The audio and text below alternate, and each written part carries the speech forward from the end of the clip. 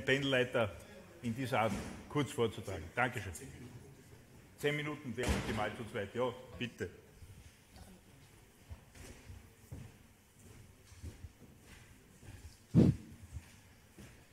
Sehr geehrte Damen und Herren, versteht man mich? Funktioniert das Mikrofon? Sehr gut.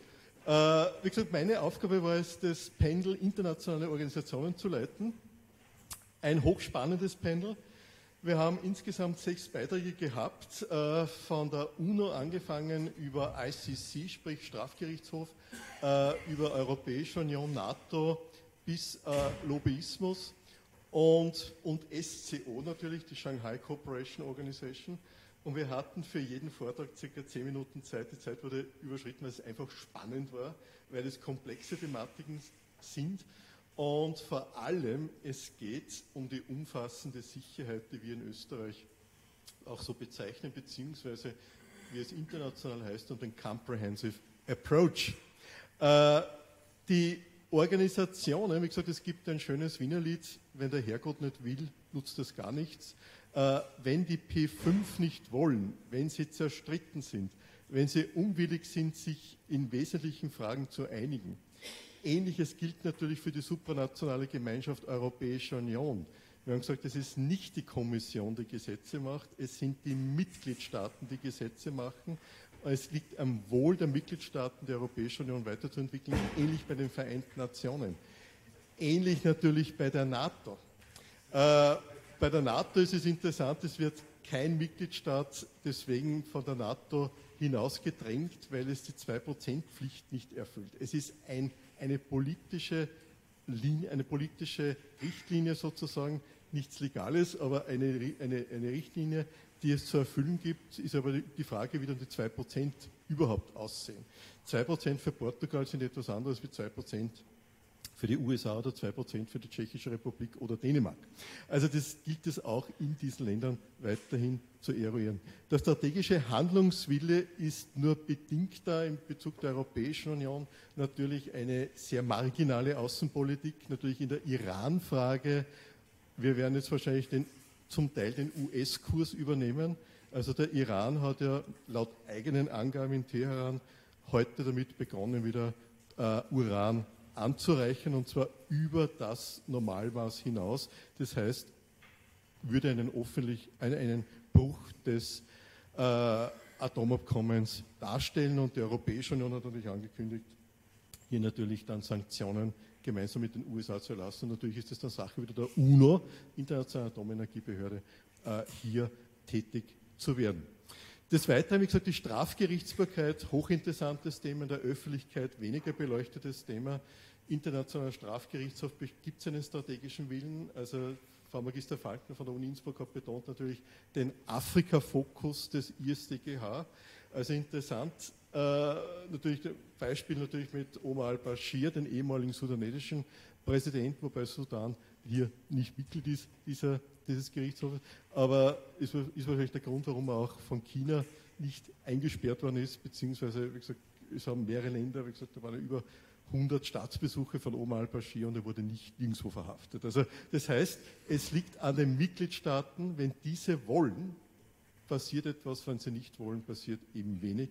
Wenn es Uneinigkeit gibt, wie gesagt, das fängt bei kleineren Staaten, Staatengruppierungen wie bei der Europäischen Union bis zu den Vereinten Nationen hier Mittelsanktionen zu machen. Wir sind jetzt auch bei den Russland-Sanktionen.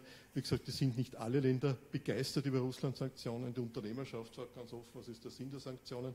Äh, und es, es, es sind natürlich gewisse Dinge, die äh, auch innerhalb der UNO, wie gesagt, da kann die UNO an sich nichts dafür, das sind nur die Mitgliedstaaten, die hier nicht übereinkommen. Natürlich Lobbying, es ist immer so, wir kennen das von der NATO, es wurde heute auch in der äh, in der, in der, beim Panel auch das Wort Party genannt. Also wenn in Afghanistan eine Party stattfindet, in dem Fall ISAF oder RSM, da müssen wir hin, weil es die anderen auch so machen. Es ist auch interessant, äh, ich kenne es zum Teil von der Europäischen Union, wo es heißt, wenn Deutschland und Frankreich übereinkommen, müssen dann alle anderen widerspruchslos das hinnehmen.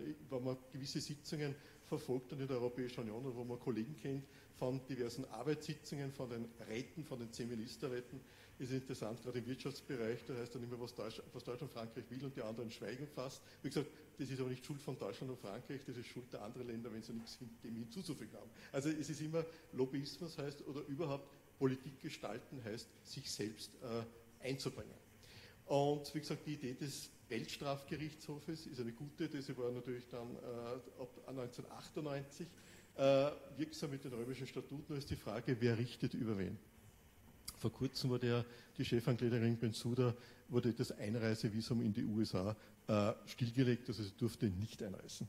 Also es gibt natürlich Vorbehalte gegenüber den Mächten, die letzten Endes so maßgeblich sind für die Gestaltung der internationalen Ordnung, USA, China, Russland und, wo man sagt, in einem gewissen Bereich auch Indien, aber wir sind nicht Teil des internationalen Strafgerichtshofes. Es gibt Andeutungen oder Experten, die meinen, auch in, in der Europäischen Union gäbe es Ungereimtheiten, die den Internationalen Strafgerichtshof interessieren könnten. Es ist natürlich dann die Frage, wie Europa oder die Europäische Union oder Mitgliedstaaten reagieren, wenn, äh, ja, wenn, der, wenn der Internationale Strafgerichtshof der Meinung ist, diverse Länder der Europäischen Union oder die Europäische Union selbst äh, an die Anklagebank zu führen. Also diese Erfahrung wäre natürlich für die EU bzw. einzelne Mitgliedstaaten neu.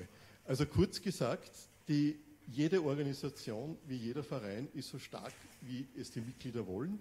Äh, wir kennen es im kleinen Bereich von den europäischen Unionspräsidentschaften. Für gewisse Länder war es oder gewisse Ratsvorsitze war es gewisser weniger Erfolg, für gewisse Ratsvorsitze war gewisser mehr Erfolg.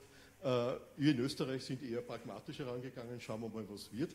Äh, zum Teil ist es ein Erfolg geworden, zum Teil natürlich weniger Erfolg, äh, aber das liegt natürlich auch an der Zusammenarbeit oder am Verhandlungsgeschick oder je nachdem an den politischen Herausforderungen der jeweiligen Zeit. Ähnlich natürlich bei der UNO und bei der NATO. Bei der NATO wurde auch betont vom Dozenten Dr. Mantovani aus der Schweiz, dass beim nächsten strategischen Konzept, also das wir haben nach wie vor das strategische Konzept aus dem Jahr 2010, heißt ebenfalls das strategische Konzept von Lissabon der NATO.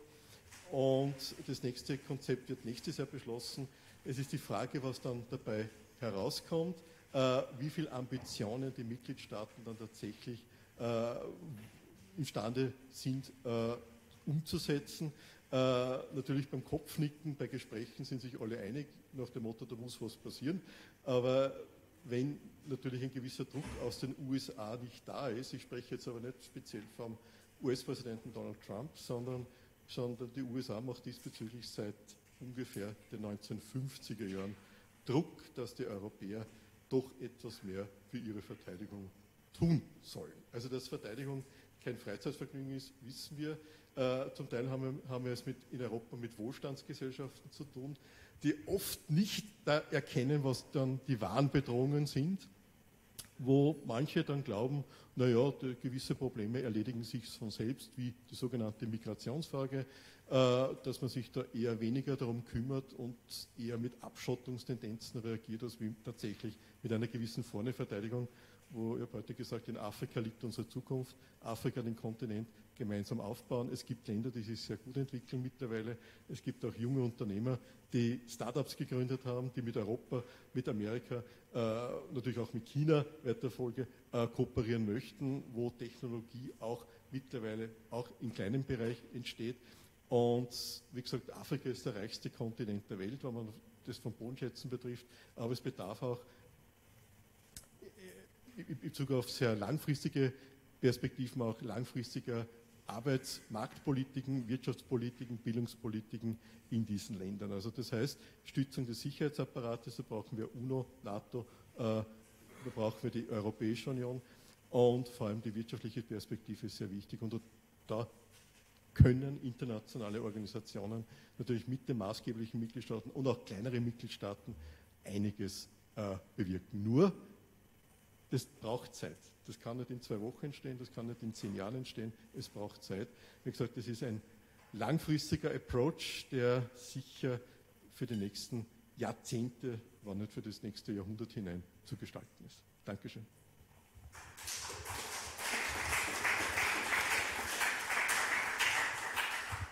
Ja, zunächst möchte ich mich einmal bei den Dolmetschern bedanken. Unser Panel Strategische Kommunikation, Strategie und Medien war ja zweisprachig besetzt. Ähm, ja, wir haben folgenden Ausgangspunkt gehabt. Es klingt ja eigentlich sehr einfach. Zuerst gibt es einmal einen Willen, dann kommt eine Strategie und dann sucht man sich einen Weg, versucht man Mittel zu finden, Kanäle, dass man seine Strategie auch umsetzt, so dass die verschiedenen Botschaften beim Gegenüber ankommen und dass man sein strategisches Ziel erreicht. Klingt ganz einfach. Ja? Nur jeder versteht etwas anderes unter strategischer Kommunikation. Dann haben wir eine Vielfalt von Definitionen der Begriffe Kommunikation, Strategie und wie alle anderen Bereiche mit hineinspielen. Und es gibt schon zahlreiche Beratungsfirmen heutzutage, die äh, mit diesen Dingen spielen und Strategy und Corporate Identity und Kommunikation und auch das Wort Strategie selbst hat schon einen eigenen Wert, weil irgendeine Tätigkeit bekommt einen höheren Wert, sobald man sie mit dem Wörtchen Strategie oder strategisch dann versieht. Das war so ein bisschen der Ausgangspunkt. Und dann äh, haben wir uns auch angesehen, äh, wie weit das Ganze zurückreicht. Eigentlich äh, ist die Menschheit schon seit Jahrtausenden mit dieser Thematik befasst. Es finden sich immer andere Wege, wie man mit dieser Thematik umgeht, aber die Menschheit hat sich schon immer damit befasst und wir haben heute äh, ausgehend von Clausewitz ein bisschen die Geschichte beleuchtet. Das hat konkret Oberstleutnant Ude nachher dann gemacht, von Clausewitz ausgehend, wie dann die Öffentlichkeitsarbeit mit der Strategie ähm, verbunden wird.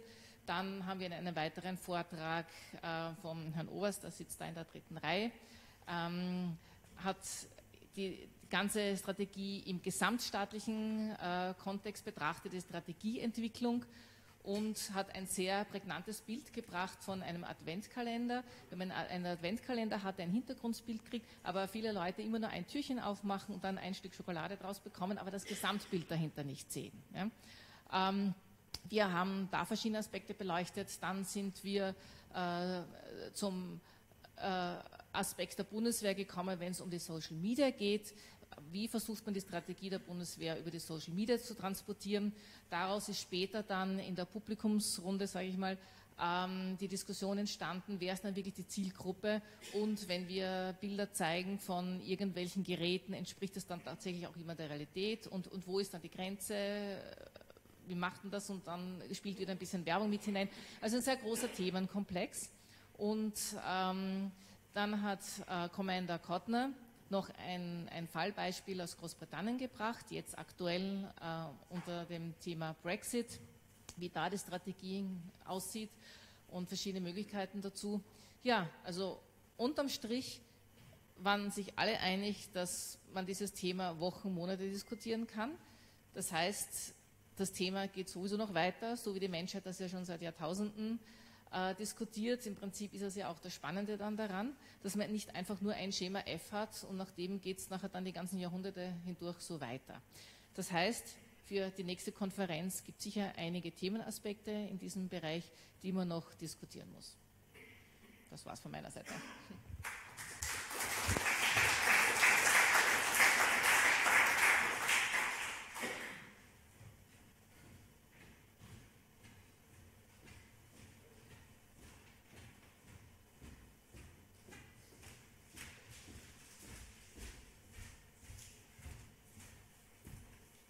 Meine sehr geehrten Bandleiter, bleibt mir nur mehr über, mich noch einmal recht herzlich zu bedanken. Die Synergie hat wunderbar stattgefunden. Ich glaube, das äh, Auditorium ist jetzt in der Lage, beide Dinge zu verknüpfen. Äh, und wenn du oder Magister Axmann äh, für ein Gespräch, für Fragen noch auch telefonisch erreichbar wäre, könnten wir das darüber. Dankeschön.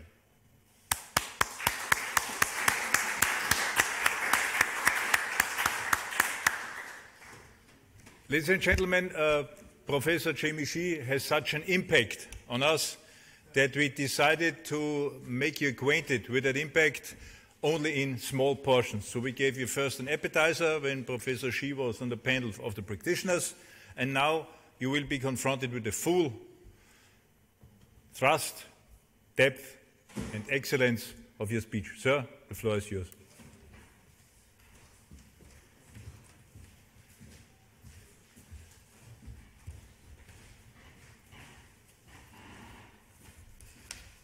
Well, th- thank you very much. Uh, if they pay for your airfare, they really do expect uh, to be repaid in blood uh, and flesh.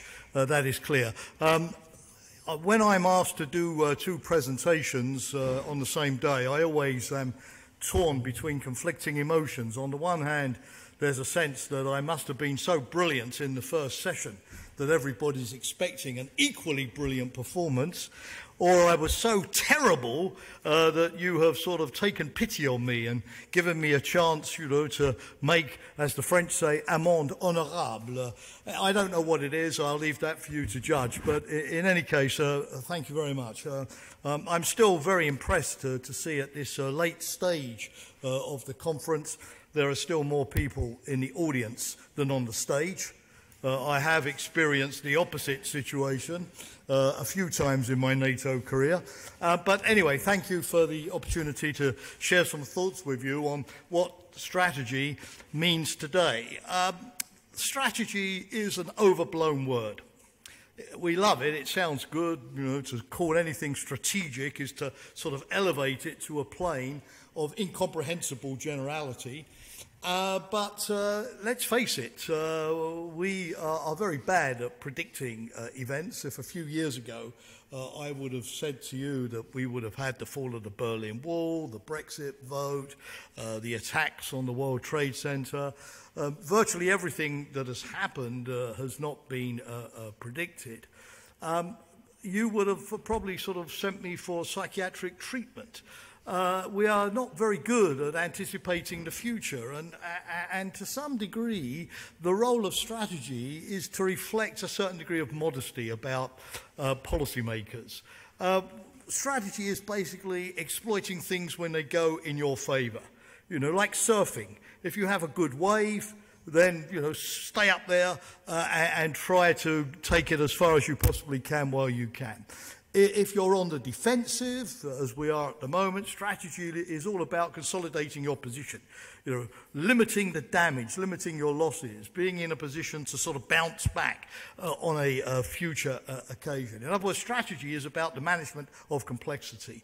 In the 90s, uh, which was the golden age of my career at NATO, we were on the strategic offensive in a good sense. You know, the Berlin Wall came down. We were able to enlarge NATO, which would have been unthinkable a few years earlier without provoking a war with Russia. We were even able to engage Russia uh, uh, at one particular time. I remember very well visiting Bosnia, visiting Kosovo, and spending the day with the Russians who were participating in the NATO led uh, peacekeeping mission. It, it seems like a surreal age uh, in comparison to what we have today, but it was only 20 years ago, uh, a flash uh, in uh, historical uh, terms. We were able to intervene in the Balkans, as I was saying this morning, and establish uh, certain principles which uh, at least looked realistic at the time in terms of humanitarian intervention, responsibility to protect. The comprehensive approach was mentioned, the first time when the international organizations came together to share their competencies to rebuild uh, failed states and, uh, and failing countries uh, as well. Uh, we were able to launch the idea of a European defence component, which again would have seemed unrealistic just a few years uh, be before then. Um, but now, of course, it's different. We are on the strategic defensive. The world is becoming more complex, so the game of strategy is to try to manage complexity uh, uh, and place as much order on it as we uh, possibly can. But we have to be modest uh, because we're up against sort of five uh, big strategic shifts. Uh, which are not going to dissipate anytime soon. The first one, and again, I can be fast because we discussed this this morning, as I've said, is that we are tending to generate more adversaries than friends or partners.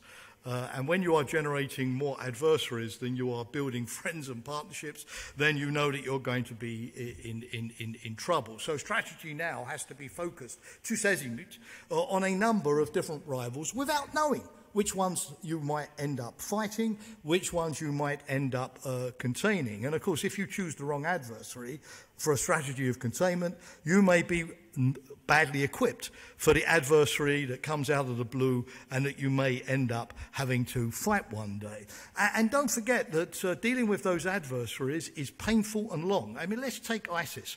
ISIS at its height managed to generate uh, about 40,000 fighters Well, for a terrorist organisation, that's big, but for a nation state, it, it's tiny. It generated about $6 million of income a month, and it had a caliphate which was slightly larger than Belgium and the Netherlands. Not what you would consider to be a major adversary, yet it took four years. It took four years. It took the deployment of thousands of Western troops. It took a sustained air campaign. It took the, the almost total destruction of five or six cities uh, have you seen pictures, for example, uh, uh, today of uh, Raqqa in, in Syria, for example, or places like Ramadi uh, in Iraq? Uh, it reminds me of Vietnam when we had to destroy the village in order to save it. Um, a price tag of reconstruction, which is run, running into the hundreds of billions of dollars, uh, modest uh, sums, uh, in order to defeat the caliphate. And even having succeeded there, nobody in their right mind would think that ISIS has gone away. In fact, uh, Iraqi has Iraq has reported about 200 uh, ISIS-inspired terrorist attacks since the fall of Rafah Iraq, excuse me, alone. So if that is what it takes to defeat even a minor adversary, think what it would be like if ever we were engaged in a conflict with a major peer uh, adversary. Uh, and of course, we, along the way, while dealing with these more long-term uh, uh potential uh, adversaries or real adversaries have to deal with the adversaries that come and go, like Somali pirates, for example, that kept us busy, uh, costing 12 uh, billion, billion euros a year in terms of funding uh, for the uh, operations in the Gulf of Aden at the height of that particular uh, uh, problem. The second uh, big uh, change, uh, and again we referred to this briefly this morning, is multiple overlapping uh, loyalties. Uh, is the UK in Europe or not in Europe any longer post Brexit?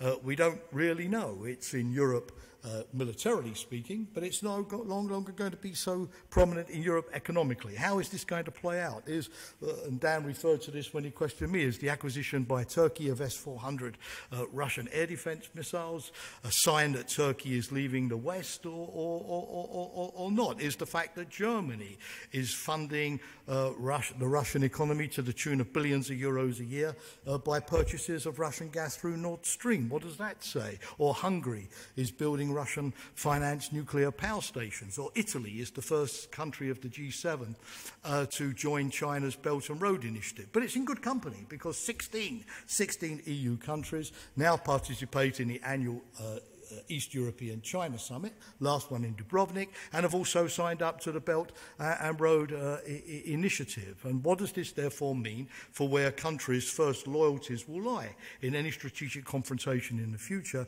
when they have so many particular levers of influence over their uh, decision making uh, as, as well? That is perhaps an aspect of globalization that we've been late in waking uh, uh, up to. Uh, we have multiple fronts. I've said this before, it no longer, you, strategy no longer has the luxury of dealing with one particular problem in one space. It's about handling a range of different problems and difficult decisions about the allocation of resources to each of those particular fronts. It's like, gentlemen, when you put on your swimming trunks, uh, you can only cover a certain percentage of your body with your swimming trunks, and you have to make a strategic decision on which part of the body you choose to place uh, the uh, trunk. So you can't cover uh, everything. Uh, multiple fronts also mean that we are now in an age where anybody can attack anything at any time, anywhere. Distance doesn't matter. A 16 year old kid in Bradford, in the United Kingdom, uh, came home from school every evening, went up to his bedroom, uh, his parents never knew what he was up to, and he was in his bedroom on his computer, and without leaving his bedroom, in total isolation, he managed to organise a terrorist cell in Melbourne, Australia. He procured the financing, he procured the explosives, he did all of the organisation, and had this terrorist uh, cell planned to attack the Anzac uh, military parade in Melbourne, which was uh, thwarted in the nick of time, but it shows that what one kid can do uh, simply uh, with the internet uh, and technology. And, and this means that for the first time in history, governments have the responsibility of defending everything. Potentially, everything is a target the transport systems, ports, airfields, container ships. Uh, one individual, a couple of days, a couple of months back, uh, in my country, uh, managed to paralyze Gatwick Airport for two days uh, by flying uh, a very uh, cheap commercial drone across the runway at Gatwick Airport, uh, which led to complete traffic chaos. Uh, and one particular airline, in terms of compensation, was forced to pay out 26 million pounds uh, a massive uh, loss uh, for that particular incident. So everything is potentially vulnerable uh, with a big impact for a very minor input. Never before, economically speaking, has the ratio between a tiny investment and a massive strategic impact uh, become, become so great and undermined our lack of preparedness and resilience for those kind of scenarios. And so when everything becomes potentially a target and targets are constantly shifting, governments have very difficult choices to make about where they put the priority at any one time. Risk assessment, risk management. You know, how do I calculate risk? Uh, we're all speaking to Zurich Re, Swiss Re, uh, Munich Re and all of the big insurance agencies at the moment to try to understand, guys, how do you quantify and assess risk? And can you give us your risk maturity model so that we can get a better idea about how cost effective our investments uh, can possibly uh, uh, be? Uh, multiple fronts, as I mentioned this morning, also generate particular problems uh, when it comes to solidarity, as countries expect as a quid pro quo for their engagement in somebody else's strategic front, a similar effort where they feel that they are alone or abandoned uh, and on the front line. And dealing with three sort of, you know, trying to play in three tennis matches at once while other people are hitting balls against you, believe, me on, believe it or not, is not easy in terms of uh, focus, particularly for governments that have a habit strategically of only being able to handle one crisis at one time. Henry Kissinger famously used to joke, there can't be a crisis this week, my diary is already full. Uh, but of course, in the real world, we, we can't uh, say that. Uh, and we have to have the strategic bandwidth to be able to handle multiple issues at any uh, particular one time, particularly as the focus of strategy shifts uh, from borders and land uh, towards the control of the mindset, the belief system, the definition of truth that our populations hold, uh, their political loyalties towards a state, towards an ethnic group, towards a cultural or an identity uh, sense of belonging uh, within the uh, state as well when they are exposed to so many different uh, influences. Also over which we have uh, no control. Is our security still really at borders? Is it still tied up with land?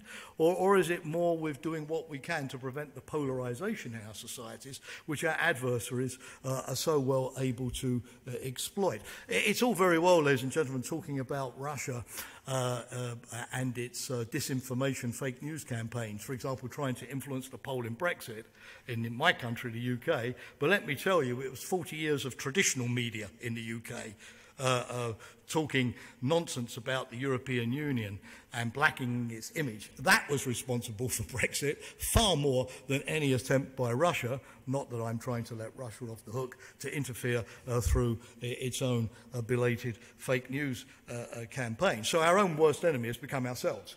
our adversaries don't need to do very much anymore to us. Um, it's almost as if they have sticks at the river who just have to sort of prop the ship every now and again just to send it on the course towards the rapids. But the ship is built by us and is being piloted and steered by ourselves. Uh, so, in other words, uh, warfare is now uh, the ability uh, to, to create and then have exploited your own intrinsic uh, weaknesses. Uh, and of course, that's good to the extent that the answer lies with us rather than the defeat of foreign powers, but it's bad because we are, find it much easier to cope with the weaknesses of adversaries than to pinpoint and act on the weaknesses of ourselves. The next big shift is contested domains. Uh, when I was uh, uh, entering NATO back in the 80s, life was easy because there were only three domains land, sea, and air. Uh, which were more or less in our ge- geographical reason, uh, region. Um, only one big adversary, as I uh, said uh, at the time, and the geographical demarcation lines were respected. You know, the, the Romans used to talk about the Mediterranean as Mare Nostrum, our sea. It's ours. You know, your, your, your geographical zone is there. This is ours. You know, we own it. Only our ships sail there. You know, all of the ports are controlled and owned by uh, uh, us we have mastery of our own internal lines of communication. uh, the Atlantic in my country is referred to as the pond, as if it doesn't really exist between the United States and uh, the United uh, Kingdom. That's gone.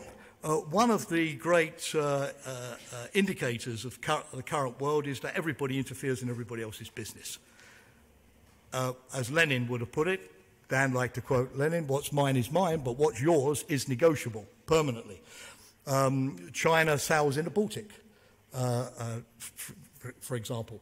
Uh, uh, now also in the Eastern Mediterranean. Iran sails in the Eastern Mediterranean. I don't, don't even need to speak about Russian activity uh, in the high north, in the Atlantic, in the Mediterranean as well.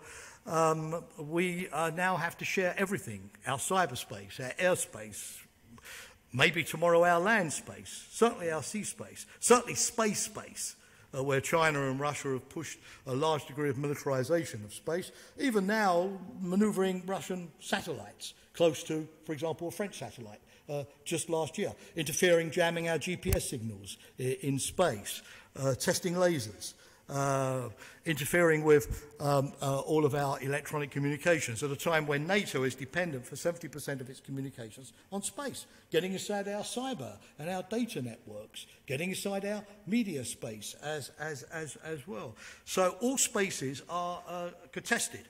And a strategist these days has to be prepared to fight not only in the land, sea, and air domain, but also has to be prepared to fight in cyberspace has to be now prepared to fight in space space. Uh, for example, if you take the, Gulf, the last Gulf War, and this was already 15 years ago, back in 2003, 68% of all American bombs were guided through satellite transmission in space.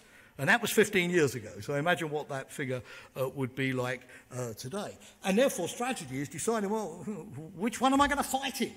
Which one's important? Which one can I win in? If I win in space space, do I win in all of the others? You know, uh, how can I be the best guy, not at being superior in each domain, but at connecting the domains? This is the crucial thing at the moment. So a space signal can fire a missile from an F-35 against a ship for example, in the Pacific? How do I do that integration of the various domains to achieve the synergy that plays in my favor against an opponent who may have good individual assets but doesn't do the integration of the domains like I do? This is really going to be the big future of, uh, uh, uh, military planning uh, as we go uh, forward. Um, this world, of course, uh, means constant friction, almost daily crises uh, and is going to put a premium on us uh, to manage those crises successfully in a way that we haven't really had to do since the Cuban Missile Crisis or some of the other crises uh, of the uh, uh, Cold uh, War, to prevent miscalculation, to prevent misunderstanding, to be good at signalling, to deploy our troops neither too early or too late in order to reinforce deterrence, to have a clear idea about what the threshold is of aggression. When do we declare that enough is enough. Uh, how do we make sure that our reactions over time build up a new pattern of deterrence? Not through saying, I have a nuclear weapon and therefore deterrence is assured, but I have a pattern of behavior.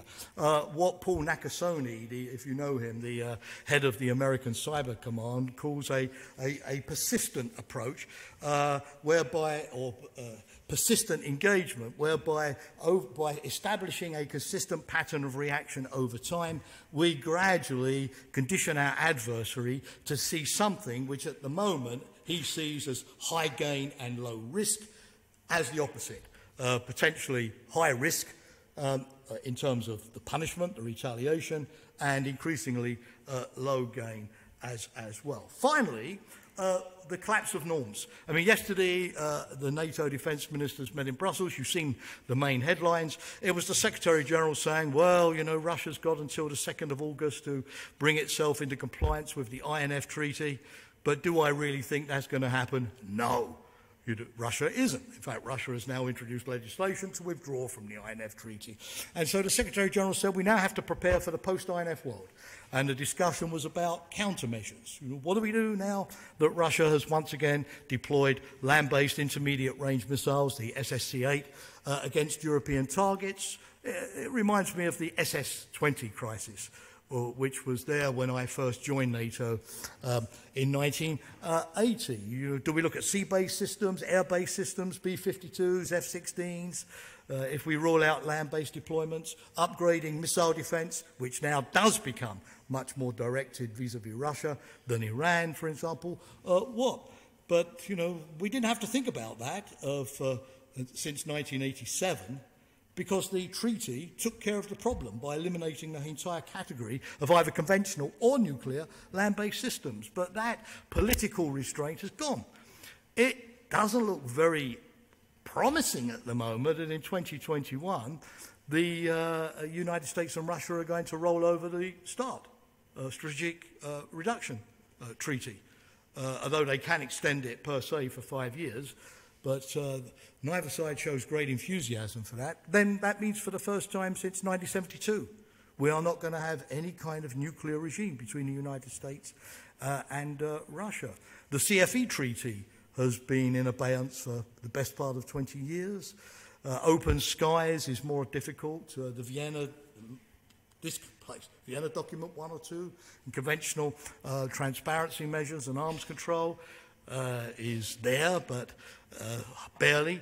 Um, we have not got any ABM treaty uh, now uh, any uh, longer. Uh, we haven't implemented the Comprehensive Test Ban Treaty, uh, even though it's been in existence for 30 years. Uh, chemical weapons convention has been breached by Assad on a number of occasions. You look at cyber, you, uh, there is no uh, verification protocol for the biological and toxin weapon convention. On I go. Uh, in other words, we relied for our security uh, very successfully for 30 years on, you know, on military strength and deterrence, but even more importantly, on a sense of international law, of restraint, on codification, transparency, and so on. That has gone. Now, you could argue it's a good thing uh, in the sense that it was maybe overtaken by events. China, for example, with all of its intermediate nuclear weapons, was not included. Um, okay, but uh, the, it's better to get rid of something when you've got something better to replace it, right? Um, and we have not been very active uh, in the West, in NATO, uh, coming up with new ideas, space being the latest, uh, how we regulate uh, these uh, various domains. Well, what does that mean, very briefly, then for the future of, of strategy? Uh, well, these things, of course, are not very pleasant, but I suggest that we need to start thinking about them. I'm not going to have the answers today because the great thing about strategy is you sort of give the exam question and then get the brilliant minds to go away and brainstorm on the answers. But okay, the first thing is what if we have to fight a big war again? Could we do it? Um, a couple of weeks ago, uh, you all saw D-Day, right? Um, and uh, I'm a academic historian by background, and of course I was obsessed with D-Day. I, I sat in, in front of the TV all night, you know, watching all the documentaries and so on. And a couple of things struck me. Number one, you know, the immensity of the operation, 150,000 troops just to get across the channel, over 2,000 ships, you know, massive build-up of supplies with the idea of getting 1 million, 1 million Allied soldiers across the channel in the first three weeks. Um, you had a massive deception campaign in Scotland, in, in, in Kent, you remember, to fool, sorry for the Germans here, but to fool the Germans, thinking that the attack would come across the English Channel. Uh, uh, you know, it was a close run thing. It could have been defeated by the weather, but could we do that today, honestly? Something on that kind of, of scale, with that kind of planning, that kind of massive coordination uh, uh, against an adversary, it has to be said, who had lost four out of every five Wehrmacht soldiers on the Eastern Front. I mean, if we hadn't had uh, the Eastern Front facing a much diminished Wehrmacht, which stood put up incredible resistance, at least at the beginning, we could not have done it. I think, yeah, could we do that? Well, next thing that's interesting uh, about uh, D-Day is that a war is a campaign. I mean, for most of our my life, a, war has been a kind of 78-day air campaign, right? Or a salvo of cruise missiles, or an individual cyber attack, you know, like the United States attacked the command and control of Iran by cyber means last week, you know, a quick thing and that's it, a Stuxnet. But a war is a campaign that goes on for years that requires the mobilization of your economy, society. And so the first lesson is the ability to deploy mass consistently for a long period of time. Um, for example, uh, during the, the D-Day documentary, they had uh, the son uh, of the commander of the Sussex Yeomanry uh, uh, uh, division who, who, who had the job of defending against a regiment of German Tiger tanks on a hill just above Caen in France, you know, which uh, we destroyed in order to save. Um, and, uh, you know, he, he was up against uh, about, you know, 20, 25 Tiger tanks. Uh, and eventually they managed to prevail. But he told me in that time, uh, the son saying, in that time, my father was lucky because he was able to uh, bring up 1,400 Sherman tanks. In other words, you know, although the Germans were knocking out more Allied tanks than we were knocking out Tiger tanks. The Germans didn't have any fuel, couldn't replace their tanks, whereas the Allies had this massive ability, you know, to substitute numbers for quality, for mass, and, and gradually overcome the resistance. That's a lesson there about mobilization. Are we able to do that kind of thing? Uh, for example, one of the things that NATO is looking at is uh, military infrastructure, you know, uh, supply lines, ports. They're all in the hands of the private sector these days. Uh, you know, uh, with little cybersecurity, uh, with little resilience, with little redundancy you know, roads, bridges, all of these things that you need to move an army around. Uh, you know, the, the Bundesbahn doesn't have all of those tank transporters that we used to have. So, you know, can we do that? Um, the second element, or, which really struck me during D-Day, was innovation. Uh, you know, that uh, there was a one tiny story, but it was very interesting. It was a, you know, you remember when the Allies came on the beaches, the Germans had put these sort of metal traps on the beaches, uh, obviously, um, which may have given, in fact, the soldiers some protection. But anyway, the next problem was that the Sherman tanks could not get through the hedges, you know, the bocage in Normandy. Uh, and were frustrated. And so one bright American, a genius, said, Aha, I've got a great idea. We're going to take these things on the beaches, these metal rods, we're going to sort of, you know, cut off the, the edges so they're sharp, put them on the front of the tank, and then the tanks will be able to drive through the hedges. Brilliant. Fantastic, innovative idea. Uh, like, for example, the Sherman tank could not fight a Tiger tank, so the British had this bright idea of putting their sort of 70, 70 millimetre gun onto the Sherman tank, which then gave it more firepower. So innovation, the ability to adapt old technologies to new functions. It's not just about new tech, it's the ability to find more value of old tech through innovation and adaptation. Just a couple of stories, but you know these are the things that we need to start thinking about. We haven't done it uh, in Europe since the Second World War, thank God. We rehearsed it during the Cold War, but never had to do it. A lot of those skills, the civil emergency planning, the civil preparedness, the mobilisation, uh, have been lost. We don't have governments, departments to do it. And I know it's an extreme scenario, and I'm not suggesting we should hit our public opinion with it, but we as strategists need to start thinking quietly about, well, what if, what if uh, we had to, once again to run uh, a major campaign? Don't forget that on the first day of D-Day, more soldiers died than in Afghanistan since uh, 9-11.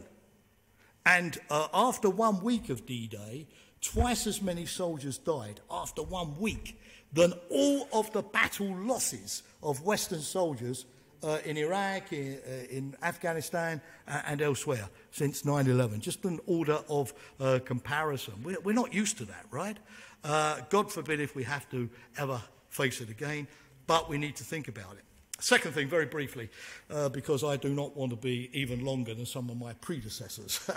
uh, I was impatient with them, so come on, it's fair, right? You should get impatient with me. But I think we need to think about the impact of the new technologies. You know, they're, they're coming very fast. Uh, we're seeing them already.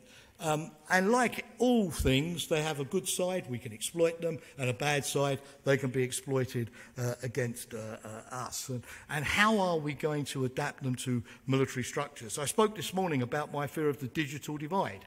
Uh, uh, which is a clear one. If certain allies are comfortable about using these things, and the new US cyber policy gives much more latitude, for example, to the Pentagon to carry out cyber attacks uh, without seeking White House permission, you know, to sort of take the law into your own hands, if you like. Uh, there are consequences for this, particularly if others are following a much more cautious strategy. Uh, and so one of the big questions is, is, of course, what are the rules that are going to govern these new technologies? Are we going to delegate uh, uh, decisions on firing to machine learning uh, robots, for instance? Do we keep the human being in the loop? Where is the interface going to be uh, here uh, in the future as, as well? For example, if, if many of these technologies, like computer chips and supply chains, are being sourced abroad, where do we have to have our own autonomous defense industrial base to ensure that we have security supply at home? And what are the risks of using other people's technology? The whole Huawei debate is just a shade of things to come. Next thing, deterrence below the Article 5 uh, level. What works? What works?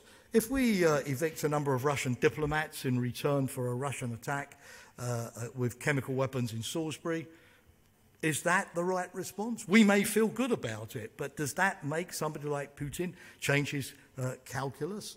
What gets his attention? What works?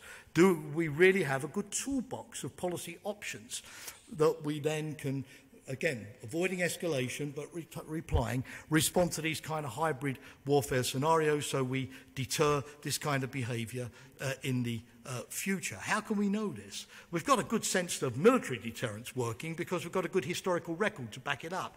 Hybrid warfare is more, at least in the form it's taking, is, is more recent. So how can we gain a kind of caucus of experience uh, about what actually works and what is appropriate uh, there? Secondly, attribution.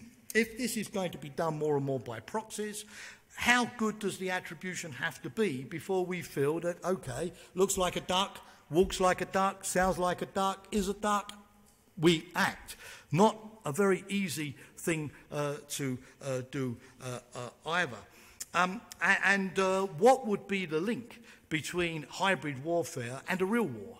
Uh, that's, of course, the most worrying scenario, particularly if you think of what happened in Ukraine and Crimea in 2014. So, how can we pick up the signs of hybrid warfare that could point to a possibility of real action in the uh, future? Um, of course, the bad side of hybrid warfare is it happens every day. The good side of hybrid warfare is it happens every day. In other words, we are forced to deal with it, and in doing so, we are going inevitably over time to acquire a certain know how through training, through exercises, through responses, through experience that should make us uh, more uh, resilient. But what does it mean for strategy? It means that the focus shifts from deterrence by retaliation, you hit me, I hit you, to deterrence by denial. You can't hurt me. Uh, you know, I've got resilient infrastructure. I can bounce back. I've got a resilient society. But you can't have resilient countries, ladies and gentlemen, unless you have resilient citizens. And how do, you know, with citizens who, of course, have never looked at themselves as being under any personal uh, danger and have always believed that it's the responsibility of the state in return for their taxes to provide all of the protection. How do we then start engaging our citizens? So, sorry, mate, no, uh, I can only protect you so far. Cyber attacks, terrorism, other things, you're on your own or at least you've got to be able, as like first aid, to be the first responder yourself. And Dan sitting there is from a country that takes this kind of stuff seriously in Israel. You can't have resilient society if you don't have resilient citizens. Uh, and how do we start engaging our citizens on what the baseline should be on essential, you know, don't do stupid stuff, uh, resilience? Um, Again, that's something that came much more naturally to our grandfathers and grandmothers in the 1930s uh, than it has come to us today. Um, finally, delegation of uh, security, which comes directly on from what I've said. Uh, the state can't do it all by itself any longer. Uh, we are now in an age where everybody has to do security. A company has to look at, obviously, protecting its staff, uh, duty of care when they go abroad, uh, insurance, you know, exercises, preventing cyber attack. Uh, a city has to look at how it responds to uh, a terrorist uh, attack as well. In NATO, we go to organizations like Bellingcat. You know Bellingcat, which is Eliot Higgins one of my heroes, and we say, hey guys, please tell us what are the real identities of the GRU operatives uh, who gave false names when they used uh, Novichok in Salisbury. And Bellingcat, within a couple of weeks, you know, with open source algorithms, says, got them for you, the names. They did. Uh, so there are now these interesting alliances with these civilian networks who often have the tech, the savoir-faire, uh, even the governments don't have, uh, to get to the basic truth. So it's all about building these new partnerships uh, and these new uh, alliances. But as we do, and this is my final point, uh, the military are now in a difficult period because in the past, you know, security was the military. If you looked at the yellow pages, you know, the telephone advertising directory, and you said security, it would say Bundeswehr, army. You know, they do it. So all of the money goes to them. Thank you very much, because they are the first, second, and third responder. But of course, no, not now, no. Uh, after 9-11, the UK, my country, greatly increased its uh, budget for the intelligence services, who had a field day uh, while dramatically reducing its budget for uh, the army, for defence, with the result that we went down to below 80,000 or for the uh, navy. Uh, the police and border guards in certain countries may get more, or the navies, because they're dealing with migrants, may be preferred to the uh, uh, air force, even the private sector as it takes on more roles in guaranteeing government security, particularly, for example, in the uh, cyber field. And so we've got difficult choices to make uh, about um, uh, resource allocation. Now, let me finish again uh, by a, a, story from World War II. Um, you know, one of the things that always sort of intrigued me, I could never sort it out in my mind, uh, was why did Germany beat France in 1940? And I thought, well, you know, I don't believe in notions of racial superiority, although Hitler would have done at the time, but no. Um, you know, the French had their tanks. Uh, they had their Maginot Line. They had a big army. You know, they'd make their plans and, uh, and, and everything. They knew where the threat was coming from. And, you know, uh, the Germans still largely had a horse-bound army in 1940. It wasn't a panzer army, uniquely by any stretch of the imagination. And then it gradually struck me that you know what the Germans did in the 1930s and the French didn't was the experimentation. You know, geniuses like Manstein, Guderian, you know, they, they didn't spend their time sitting in barracks. Uh, they spent their time, you know, exercising with different formations, different command structures, different tactics, you know, uh, companies versus regiments, uh, tanks alone, tanks with other vehicles, uh, until they basically sort of optimized what they thought was the best synergy of the four key ingredients of strategy. People, quality of people, process, general organization and doctrine, and tech of course, technology. Uh, and it wasn't always a question of spending the extra Reichsmarks on technology. Sometimes, you know, extra Reichsmarks were better invested in people. Other times, those Reichsmarks were better invested in overhauling process and organization. And that's the one thing that we're going to have to get back to knowing how to do, to factoring in the people, process, tech, tech organization uh, square and finding out at any one time what sort of event investment will give us the best force multiplier uh, effect as well. So um, the bad news is that it's a complicated world. As Mrs. Thatcher would have said, it's a funny old world. The good news is that there has never been a better time for strategists. This is the golden age of strategists. When I gave my farewell speech at NATO, um, I said that, you know, I had a wonderful career, but I really wish I could start today. I really did. I really would like to start now, not in 1980, because to my mind, now, with the complexity of the problems that we're facing, uh, never has been there a better time for the application of human intellect uh, to the world's uh, problems. But the first basis of this has got to be uh, to remember the wisdom of Bismarck. I know Clausewitz has been quoted here today uh, rightly so. But Bismarck said, people can't create or divert the stream of time. They can only travel on it and steer with more or less experience and skill in order to avoid shipwreck. Uh, but if uh, your strategy avoids shipwreck, you will have not wasted your time. Thank you very much.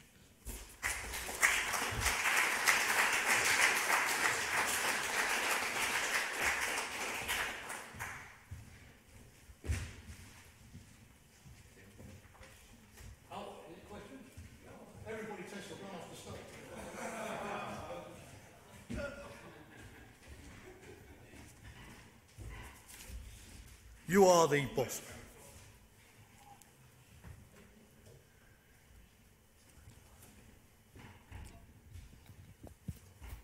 Uh, thank you very much, sir, for your brilliant presentation. No chance getting away with that without answering. Okay, all right. No escape. Uh, thank you very much. Professor Schueftan, bitte.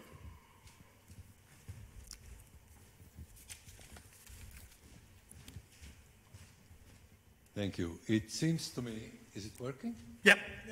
It seems to me that the major obstacle for strategic thinking is cultural on two different levels. First of all, when you have in Europe people who are not willing to fight for their country, I believe in, in Germany it's 18% people who are willing to fight for their country. The only ones in Europe who are really willing to fight are the Finns, okay, because they have a good memory of what the Russians did and what they could do about it, even as a small state and you're not willing to spend anything on defending yourself. And then the question if you have brilliant strategic thinking or not, it doesn't matter because you don't have a people who are willing to fight and you don't have a society who's willing to finance it. The other problem seems to me to be more serious because the only thing you can do is what looks good and doesn't matter. Let me give two examples. First of all, why do you go to Libya? I mean, what's the rationale of going to Libya? It doesn't matter. What, you want to save 3,000 people in Benghazi being slaughtered by Gaddafi because it looks good and, and you can say we're, we are humanitarians and therefore we go into Libya and then you destroy Libya because what you get is even worse than Gaddafi. And why should you care if he kills 3,000 people if you're thinking about defending Europe from the real enemies. Something even worse, Daesh, uh, ISIS. What does it matter? What can Daesh do? Now, is it a good idea to fight Daesh? Yes, why not? But when you're fighting it, and here is where strategic thinking has a major, profound fault. When you're fighting Daesh, you're strengthening Iran, you're strengthening Erdoganistan, because as far as I'm concerned, there's no Turkey. There's Ataturkistan and Erdoganistan, and Erdoganistan is on the wrong side.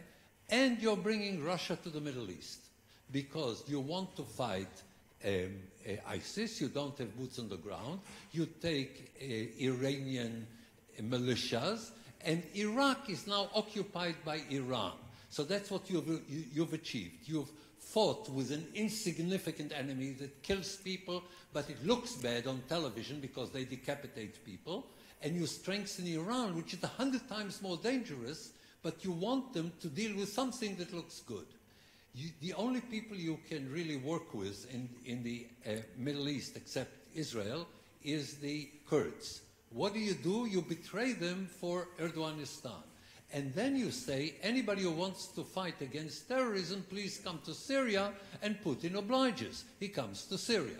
So what have you done? You've taken a strategy, the dumbest strategy you could possibly have, and the only reason you pursue this strategy is that you can get a consensus of people who want to look good and cannot think strategically, because if they would say what they think, they would be considered illegitimate in their own societies. So the question, if you have innovation of putting a Sherman with the things that will go through the hedges, is very nice, and I'm for it. And by the way, if we're at war, I'm sure we'll have this kind of innovation. Our obstacle to strategic thinking is cultural, particularly in Europe. But other than that, I have no problem. okay. Um, obviously, I'll have to do my best to respond to that.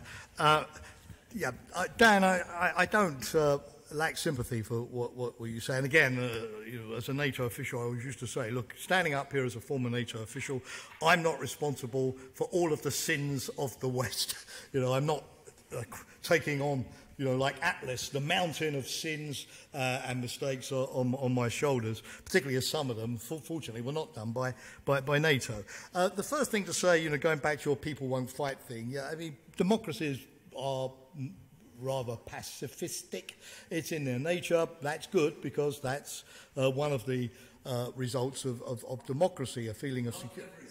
Not every democracy. It depends which neighbourhood I imagine you live in. It's true, uh, and it's different for you, of course, in the Middle East. But still, uh, you know, that, that is the fact. They, that, you know, they don't live in a state of perpetual mobilisation and massive rallies and, and, and, and so on, and uh, uh, patriotic speeches every two minutes, which is a good thing.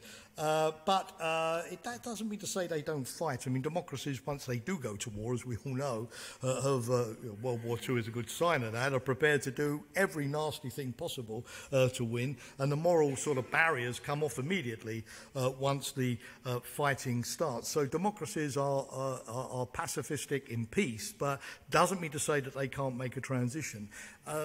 And people also change. I mean, for example, in, the, in my country before World War II, you're absolutely right. You know, there was the Peace Pledge Union, uh, big demonstrations in favour of the League of Nations and so on.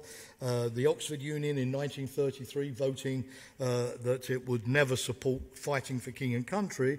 But six years later, that mood had changed, it had switched. And to some degree, uh, what happened is that fortunately, you know, I know I'm not trying to be good to them, but fortunately, British politicians have sort of made the decision to start rearming, even with a pacifist population, knowing that the threat was coming. Uh, and so by the time the popular mood swung, you know, 1938, 1939, the UK at least had started with radar and Spitfires and Hurricanes uh, doing what was necessary. So to some degree, yes, it does depend on the responsibility of the elite to be able to take those kind of difficult decisions before the public mood has swung around. That's called leadership, right? Not followership, uh, uh, leadership. But so, uh, so I don't, you know, give up on democracies. The only trouble is they tend to change their mind very late in the day, which from a military perspective, in terms of preparations, can be too late. And the interventions in Libya, Iraq and so on, yeah, I mean, you could ask yourself, uh, very briefly, I can see we don't have much time, but, you know, if after 9-11, what if the United States had, you know, decided that this was a horrendous crime, but to treat it as a crime? You know, to indict bin Laden, to punish the Taliban, as Clinton had done, you know, Al Qaeda with a few uh, cruise missiles, even bring them down. But then immediately say, right, that's it, you know, we're now going to deal with this through the courts. Unlike you Israelis after the 1972 attack on the Munich Olympic Village, you know, dealing with all of these guys in your own time afterwards, sort of thing. Would we be in a better position today in the world? That's true. We'd have Saddam Hussein, we'd have Gaddafi. That is true. And, uh, presumably some kind of Taliban regime in Afghanistan. But in terms of overall stability, would we be in a better position? The one thing I would say is that wars are the source of many of the issues, uh, and because they don't end any longer. You know, Afghanistan longer than World War One or World War Two. And in terms of the, you know, the terrorism, in terms of the migrant issues, they are generated essentially by endless conflict. So I agree with you. Uh, uh, we, it does bear thinking sometimes about whether you know, the, the response completely outweighs the original sin and it's the response that becomes the problem rather than the original sin. The one thing, final comment I would say in favour of NATO, is that the two things that have gone wrong, if you like, Afghanistan and Libya, were things which were not started as NATO operations. They kicked off, you know, with the US, of course, you know, going to uh, Afghanistan, refusing European help at the beginning, or the French and the British, you remember, going after Gaddafi for Benghazi, and then NATO got dragged in afterwards. Where NATO has started the operation as NATO, Bosnia, Kosovo in particular, and it's been run through NATO right from the very beginning. Arguably, it's been on a better policy and le- legitimacy basis, and we've had better results. But I'm not suggesting that's an answer because your questions are, uh, are very big and very important, but at least a, a, a quick response. Thank you very much, sir, for the uh, brilliant presentation. I'm convinced there would be a, a lot more of good questions and even better answers. But due to the time schedule, Absolutely. I, I must beg your pardon that we uh, will postpone question and answers to our, uh, uh, our, dinner that we will have together. And possibly, as you asked, what, what could be a rationale for Libya? I could think of one. which definitely is not intended. So it helped to open the floodgates for migrants from Africa to Europe. Oh, that's a good thing. Oh, absolutely. Yeah. Probably not intended, no, never. Thank you very much. Uh, we continue. We ask General Neretnieks. He will give us a speech on the importance, the role of the phenomenon strategy on the strategic of the phenomenon will on strategic decision making. Sir, the floor is yours. Thank you very much.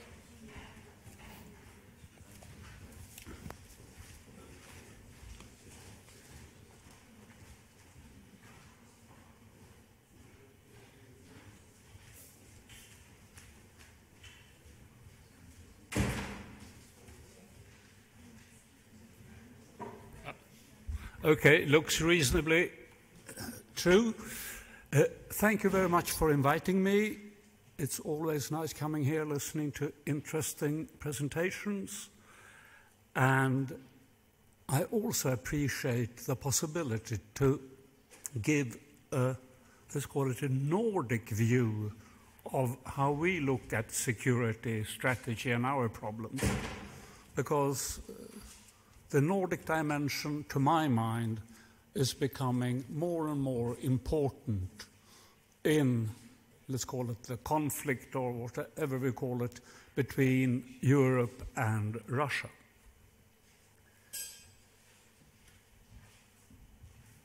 This year's topic is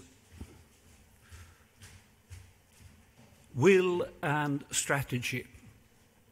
And I think I will present it as a small case study where I make a short analysis of how will might influence the cooperation between small non aligned countries, that means Sweden and Finland. And basically, this is a question of Finland and Sweden trying to influence Russian willingness to embark on different adventures in the Nordic area. Very often we put together will and let's call it uh, potential and make a synthesis out of that, and we call it the threat. And when it comes to influence the potential, small countries cannot influence the potential of Russia. In the Cold War, the US, NATO could influence the potential by, let's say, not allowing exports of high technology, a bit similar to what happens with, between the US and China today when it comes to, or when it came to influencing Russian willingness, there was a deterrence from the nuclear level down to the tactical level. Sweden and Finland, we cannot influence the potential really. We can try to influence Russia's will to do something nasty.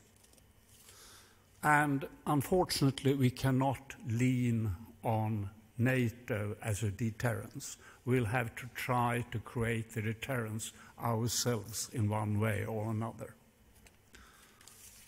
And now let's see if this thing works. It does.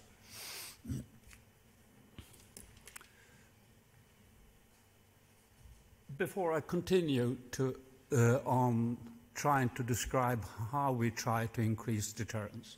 I would just like, I would just like to point out the distances involved in this area. When I flew down to, from Stockholm to Vienna yesterday, I read in the small brochure that Austrian Airlines has all its, planes and there they said that the distance between Stockholm and Vienna is 1,270 kilometers.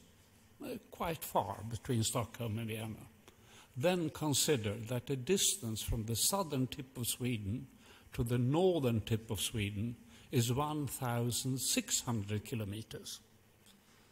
And that is a quite interesting figure because it also leads that there might be different Russian strategic interests involved in different parts of the Nordic region.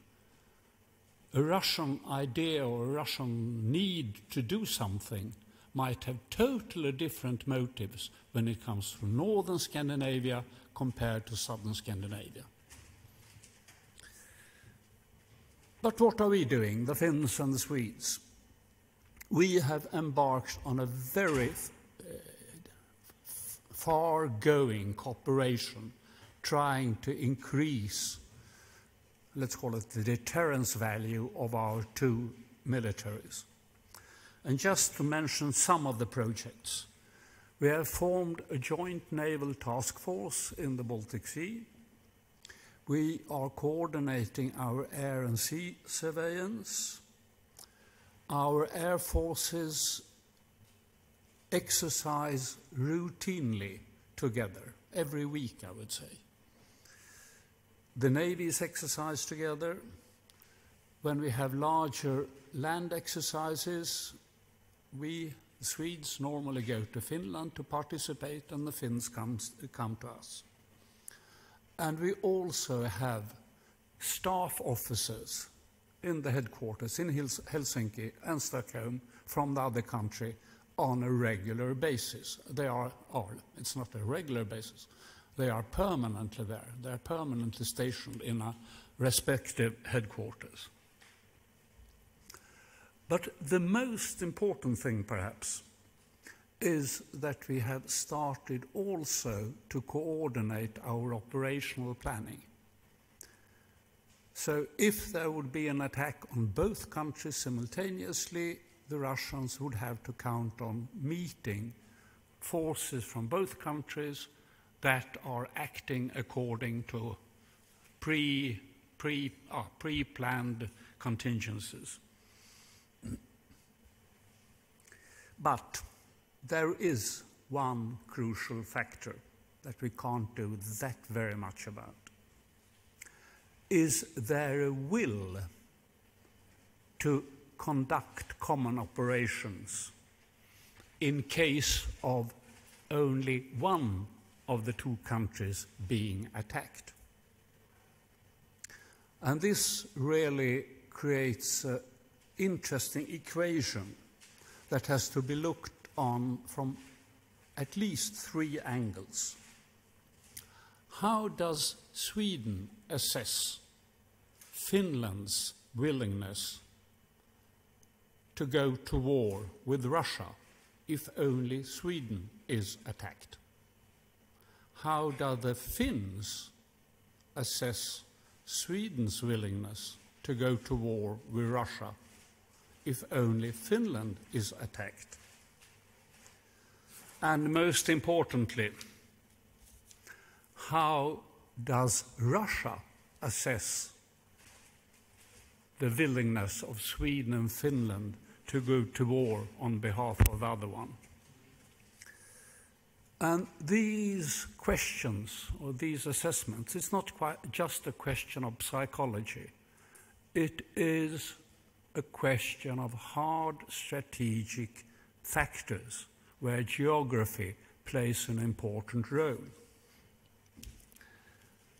And just to give, let's call it one over clear example. There you see some circles.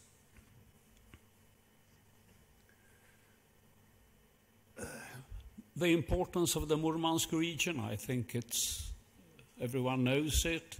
The Russians have their main base for their strategic submarines up in this area. And also the assets that Russia has to influence or try to stop uh, movements across nor the northern Atlantic from the US to Europe. The assets that could do that are also based in the Murmansk or the Kola region. And the full circle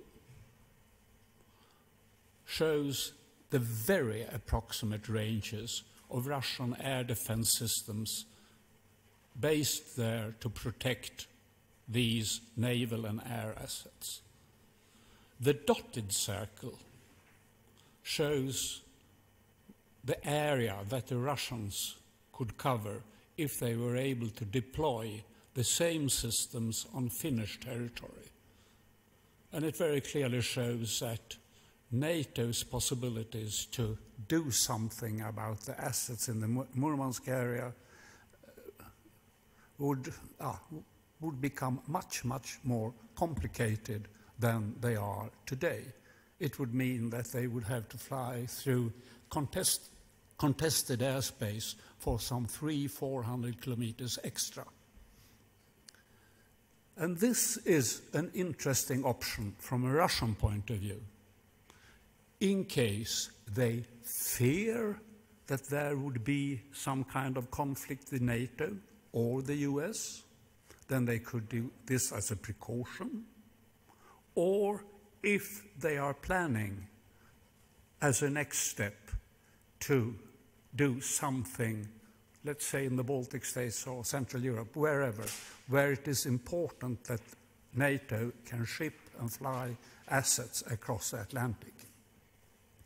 Unfortunately, Finland and Sweden, we are not members of NATO, as I said, so this would probably not trigger an automatic response from NATO.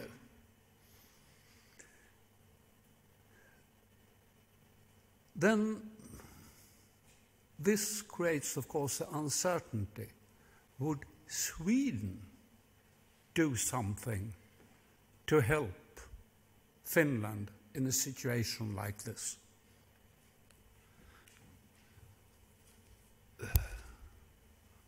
The first question then is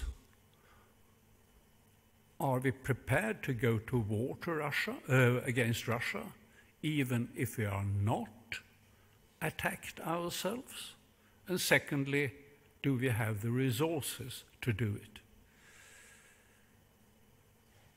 In one way, you, you, could look at it and say, okay, we could create a lot of trouble for the Russians in the Baltic Sea. Uh, for all practical purposes, all Russian shipping in the Baltic Sea would stop if we tried or we, we used that option. But on the other hand, we might have a chance to keep out of the war. Is Finnish Lapland worth a war with Russia? And a very similar scenario would occur if the Russians tried to borrow Gotland. There you see the same idea with the circles and the air defense systems and anti ship systems based in Kaliningrad, that's the full circle. and if the same systems were based on Gotland, that would make it extremely difficult for NATO to help their Baltic allies in case that was the next step for some kind of Russian operation. Gotland first, or parts of the mainland even, and then some kind of operation against NATO, that means the Baltic states. And that scenario could very well be a different scenario compared with the northern one. They don't have to take place simultaneously.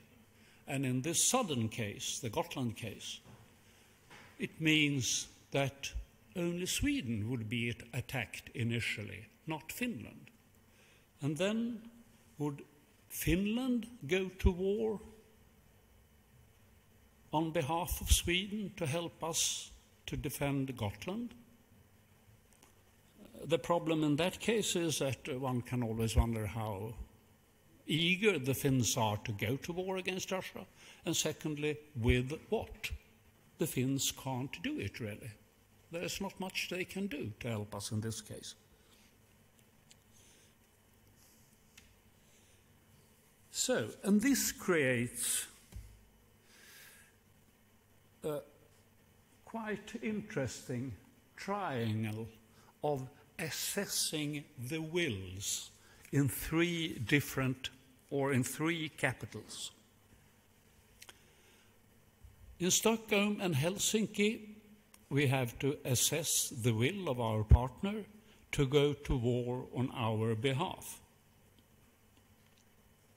And that, and I, al- I already showed the scenarios. We have to think in both cases, both Helsinki and Stockholm, what is the reward really of taking the potential risk of committing ourselves to help a partner if you are not attacked yourself? But there is, of course, one big reward. If the Russians are convinced that Sweden and Finland, regardless of what, will help each other, that might raise the threshold so much so the Russians don't use any of these options. So, where it, it becomes a three dimensional, really, assessment. What do we think in Stockholm? What do people think in Helsinki? What do we think about each other? And what does Moscow think that we think? It's a question of, as I said already, assessing the willingness of in Moscow of what are the Finns prepared to do, what are the Swedes prepared to do, and in our case, does this in any way, what we are doing between Stockholm and Helsinki, will that influence Russian willingness to do something? If I would try to make, let's call it, the Russian assessment, then of course it contains several factors.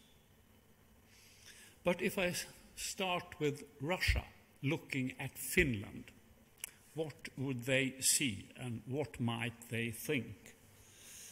To begin with, how would Russia assess Finland's willingness to defend itself?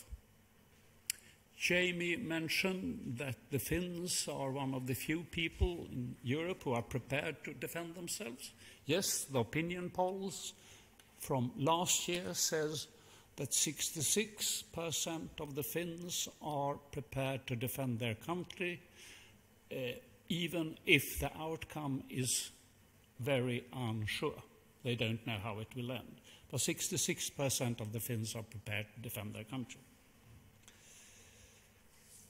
And uh, the next thing is do the Finns have the possibility or the potential to defend themselves? Yes, I would say that, that Finland is the country in Europe that is best prepared, of all countries in Europe, to wage a war.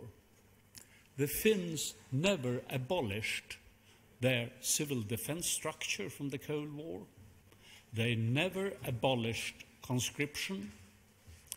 They more or less kept every piece of equipment. So the Finnish armed forces today, or start with the army, contains or consists of approximately 280,000 men, reasonably well equipped, to some extent very well equipped, well trained, and uh, depending on how you count, uh, I would say they have at least 10, 11 brigades that are very qualified. And then a part of that, uh, large, a large number of local defense units. They have a reasonably good air force, and they have a good navy for the Finnish archipelago. So Finland would not be a pushover for Russia if they tried. And in the Finnish case, I think also historical uh, experiences might uh, be an important part of the Russian assessment. The, Russian, the Finns have given the Russians a bloody nose, a really bloody nose, twice in modern times 1939 and 1944. In both cases, they repelled uh, overwhelmingly big Russian forces to invade, or they stopped overwhelmingly big Russian forces. And when you assess the Finns, that of course makes the Finns, uh, that would probably be something that heightens or increases the motivation for the Finnish forces to, to fight. We have done it before, we'll try again. And the Russians will, of course, remember oh, it didn't work out well last time.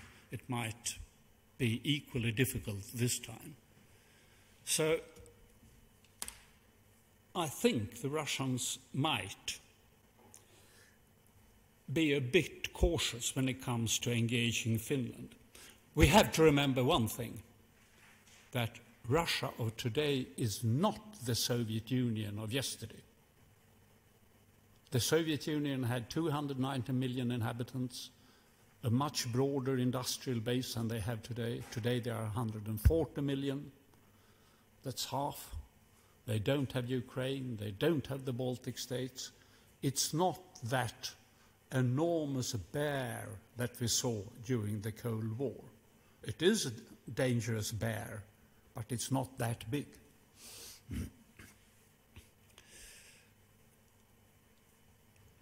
When the Russians, uh, when they continue their assessment of Finland, then they, of course, would also look at the question uh, would Finland be prepared to support Sweden even if Finland is not attacked?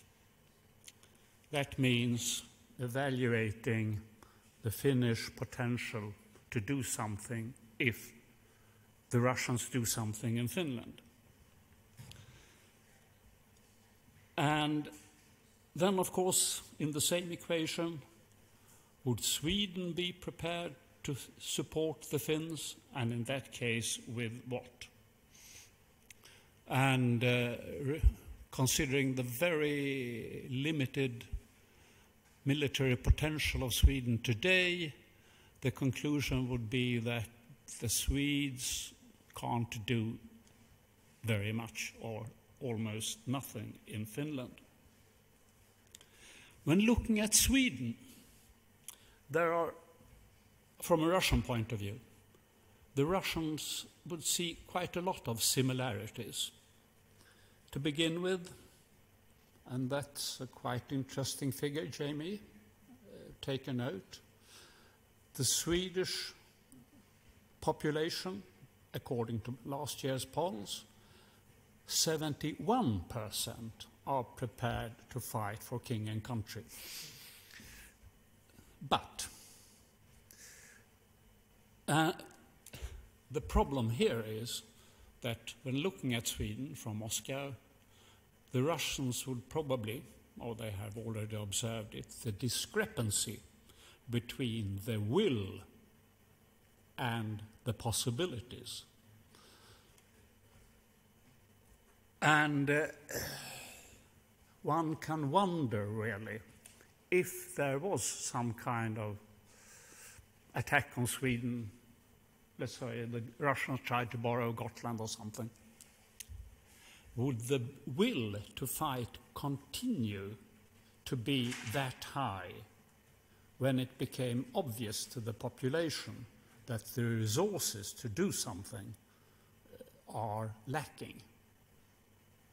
That will, when you start to get the losses, you see that you can't defend more than just one small corner of the country, then that, of course, might affect the will to continue to fight also, unfortunately.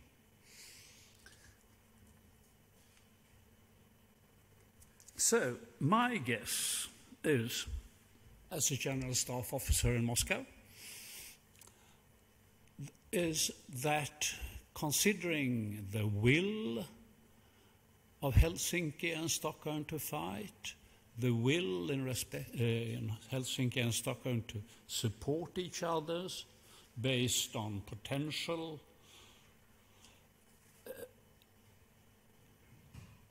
is that Russians would come to the conclusion that Finland, to do something up north in Finland, although it has, there are very many rational reasons to do it, in case you prepare for a conflict with NATO or afraid that NATO might attack you or the US might attack you. I think that the Russians would be a bit cautious when it comes to engaging Finland. Unfortunately, I don't come to the same conclusion when it comes to Russian operations in the Baltic that might involve Sweden. And if I may, as everyone else, mention Clausewitz, I think that I have made the case that uh, the importance of will and influencing the will of your uh, opponent is equally important on the strategic level as on the operational or tactical level that Clausewitz so very well pointed out. And with that, I, we have at least some 15 minutes for questions, answers, and discussions. Ah, and that circle, that is the analysis or the always ongoing analysis of the will in the three capitals that are concerned in my small case study. Thank you.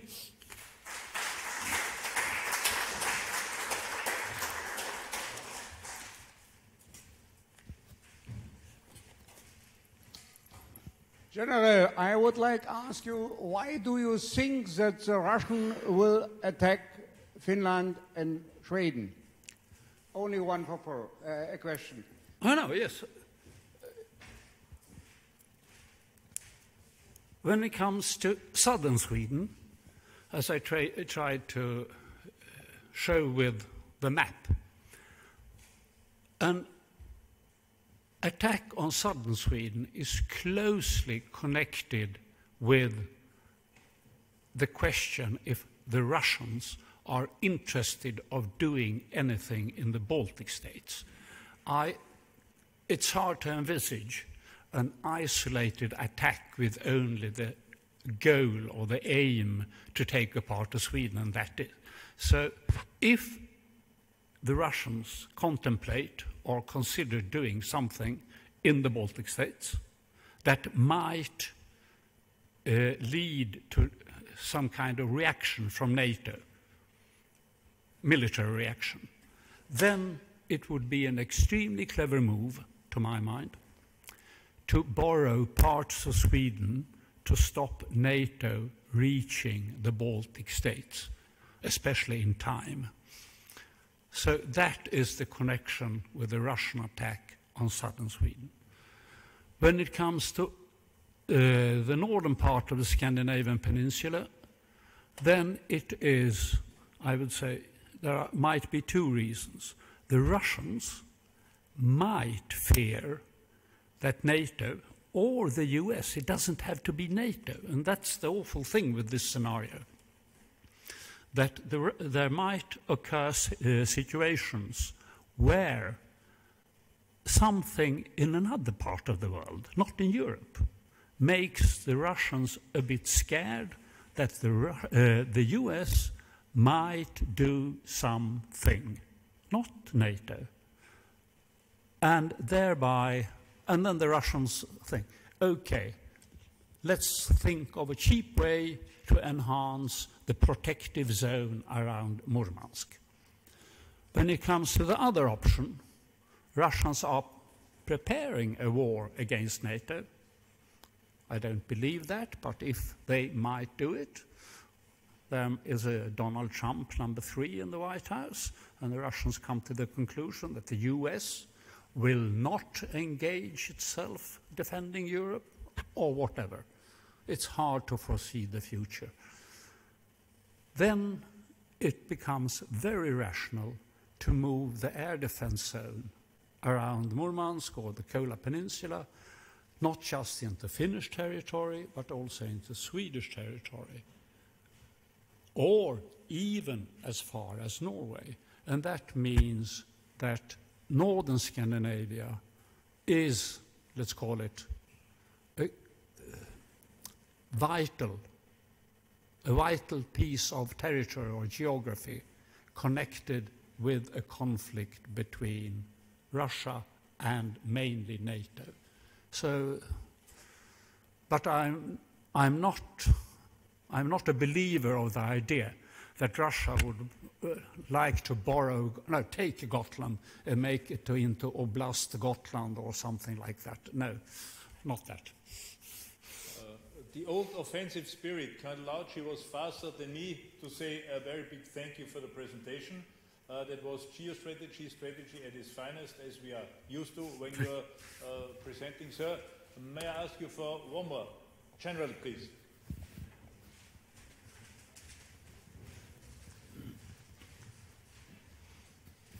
Jakob Herrmann. Um, sir, let me ask you uh, maybe a, a, little bit challenging question. Sweden and Finland are both par, uh, members of the European Union. How do you assess the strategic role of the European Union in this area? We have a common uh, security and defense policy, we have a common foreign and uh, security policy in the EU, and wouldn't it be, um, let's say, a good approach uh, to look at the, the role, the strategic role of the EU much more in this region?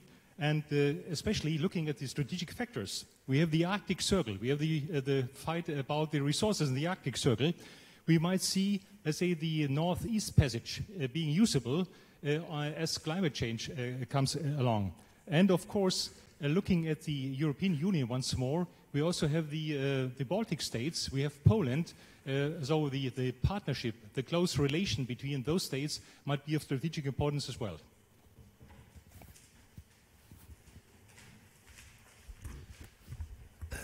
I hope that I don't misunderstood your question, but essentially you are asking what role does the European Union play when it comes to the security of the Nordic region. Was that correct? Yeah, thank you.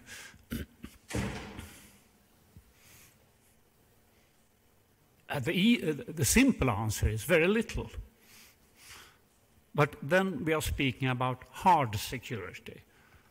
The European Union has, in our thinking, very little to contribute with when it comes to hard security. That means planes, boats, uh, ships, uh, army divisions, or whatever, in the framework of the European Union. NATO might, out of self interest, engage itself in the defense of Sweden and Finland. But that is out of self interest to be able to protect its Baltic members. But the European Union, uh, what comes out of PESCO or whatever it might be, 20 years, 30 years, if we are lucky. Uh, but that's the dilemma of small non aligned countries. We are not members of NATO. Uh, we are, but we hope that we, NATO will help us in one way or another, or that we will be able to fight together at least. Uh, the European Union has not much to offer I just told you about the problems we have between Sweden and Finland. It's not problems. We, are doing our best to deter Russia uh, with our common uh, cooperation concept. But I think you should look at Sweden and Finland, both the, Nord uh, the Nordics, as we are betting on all horses at the same time, hoping that one of them might win if something not nasty happens. We are betting on NATO, we are betting on EU, we are betting on each other. So, but I'm sorry. Uh, the EU is not the favorite in this case.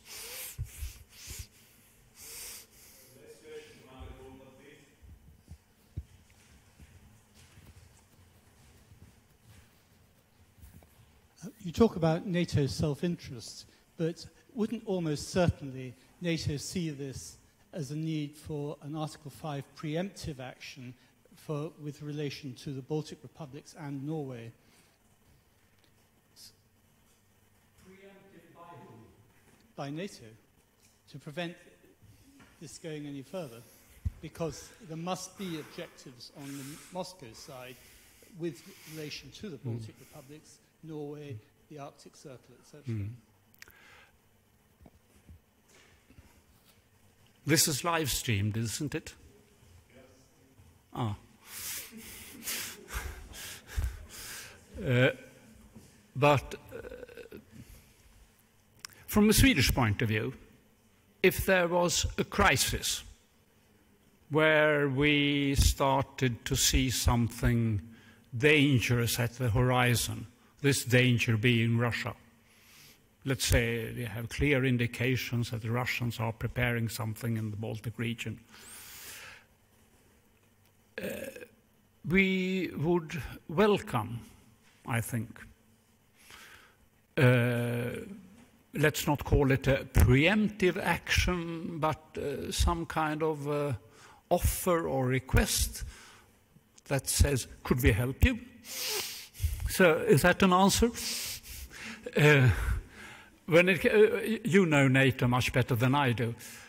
Uh, if it comes to start uh, preemptive war, more or less, or uh, I think the decision-making process in NATO uh, would complicate that option quite a lot without the assent of uh, Sweden or uh, something.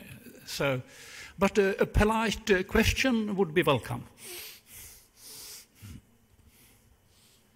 Thank you much, sir.